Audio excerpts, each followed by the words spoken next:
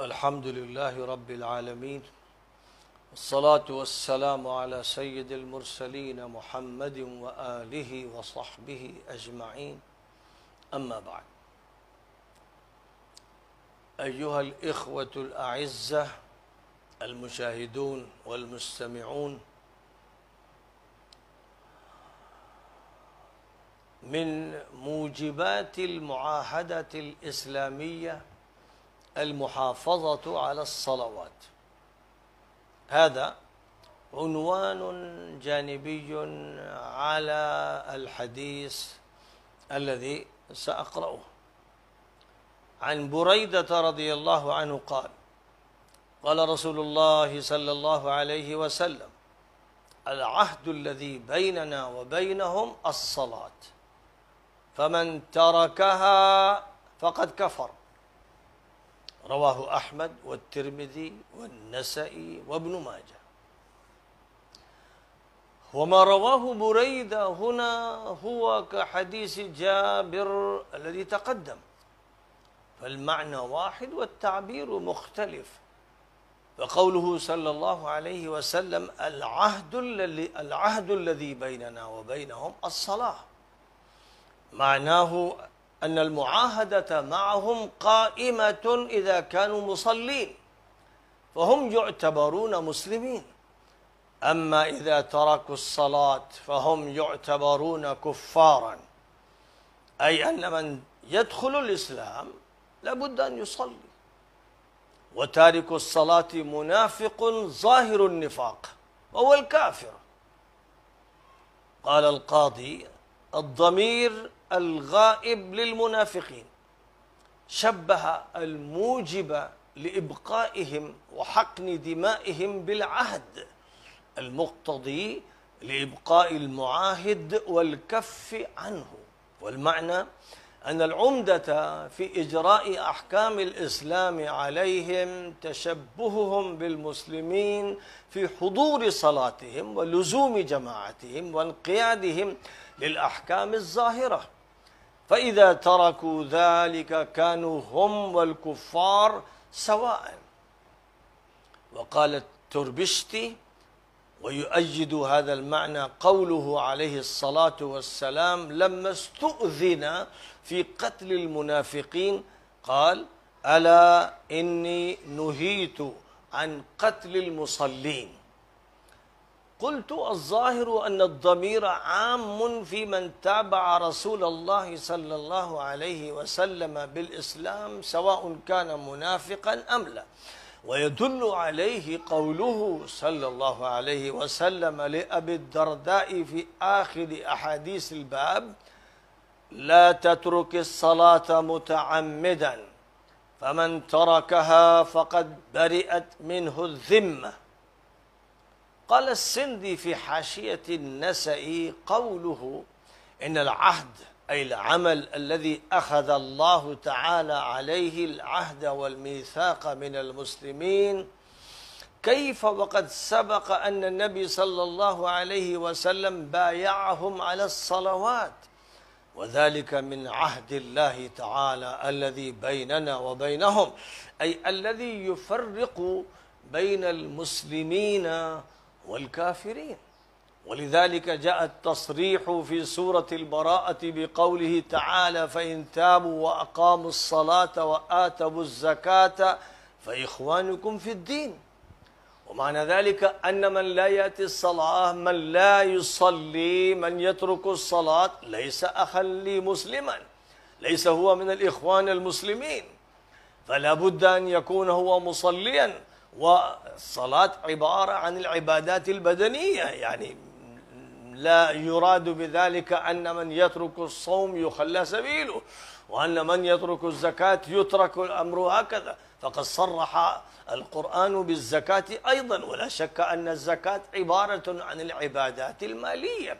فقد ذكرت الصلاة وذكرت الزكاة لا لأجل أنهما أفردتا بهذا الحكم بل هذا الحكم هو حكم الحج أيضا. فقد قال النبي صلى الله عليه وسلم كما ورد عنه أن من ملك زادا وراحلة فلم يحج فليمت. إن شاء يهوديا أو نصرانيا أو مجوسيا. فإذا كل فريضة هي فريضة قطعية ولا بد أن يأتيها المسلم. فإذا ترك فريضة فمعنى ذلك أنه خرج عن دين الله تبارك وتعالى يعني عن طاعة الله تبارك وتعالى عن عبادة الله عز وجل. والمسلم هو المستسلم لله. ليس المسلم الذي يقول باللسان ما يخالفه بالأركان. وعن عبد الله بن مسعود قال جاء رجل إلى النبي صلى الله عليه وسلم فقال يا رسول الله إني عالجت امرأة في أقصى المدينة وإني أصبت منها ما دون أن أمسها فأنا هذا فاقض في ما شئت. فقال عمر لقد سترك الله لو سترت نفسك. قال ولم يرد النبي عليه الصلاة والسلام عليه شيئا. فقام الرجل فانطلق فأتبعه النبي صلى الله عليه وسلم رجلا فدعاه وتلا عليه. هذه الآية الكريمة وأقم الصلاة طرفي النهار وزلفا من الليل. إن الحسنات يذهبن السيئات. ذلك ذكرى للذاكرين. فقال رجل من القوم يا نبي الله هذا له خاصة. قال بل للناس كافة. رواه مسلم. هذا الحديث عن عبد الله بن مسعود هو نفس ما ورد في الفصل الأول عن أنس رضي الله تعالى عنه بل ورد عنه أيضا وعن أنس رضي الله تعالى عنه. واختلاف التعبيرات والقصة واحدة يفيد أن الصحابة ومن جاء بعدهم كثيرا ما يروون الحديث بالمعنى ولا يرون الالتزام بالألفاظ المعينة. وهذه الروايات لا تنقل ألفاظ النبي صلى الله عليه وسلم إلا طرفا منها وهو مثلا قوله أليس قد صليت معنا؟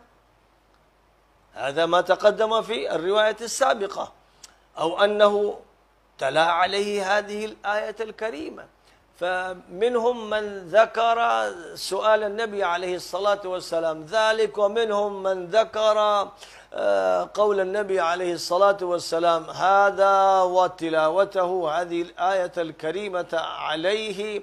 فظاهر أن منهم من حذف شيئا ومنهم من زاد شيئا فمنه من أراد أن يجمع آه، نقاط الحديث ومنهم من اكتفى ببعض ما ورد في الحديث. وعلى كل حال كل ما يرد في الحديث في طريق ما من الطرق ينبغي أن تجمع الطرق مع الطرق معه حتى يمكن المقارنة بين الأحاديث واستخلاص النتيجة الصحيحة واستنباط الحكم الصحيح. وقد ورد أن رجلا جاء إلى النبي عليه الصلاة والسلام وكان أصاب من امرأة قبلة أو أنه قال إني أصبت حدا كما ورد في حديث أو أنه قال إني أصبت منها ما دون أن أمسها كلها تعبيرات مختلفة والقصة واحدة. والمراد بالمس هنا أنا مس من دون أن أمسها أي المراد بالمس المباشرة. فهذه ألفاظ الرواة سواء كانت من ابن مسعود نفسه عندما كان يذكر هذه القصة ينبع التعبير أو من الرواة عن ابن مسعود هم تصرفوا في الألفاظ وجاءوا بهذه التعابير المتنوعة فيمكن هذا ويمكن ذاك وعلى الفقيه أن يبحث في مضمون الحديث وألا يتعلق بكل لفظة وبكل حرف بل ينظر في مجموع الأحاديث ثم بعد ذلك يستنبط الحكم الذي يستفاد من الأحاديث.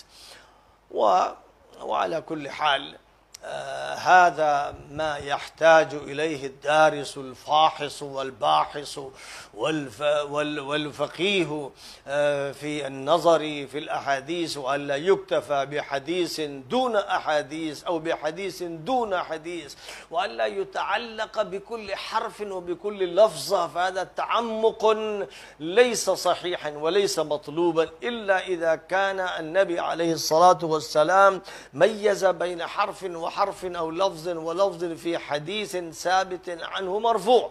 فهنالك الحكم يختلف في ذلك. وأكتفي بهذا وآخر دعوانا أن الحمد لله رب العالمين.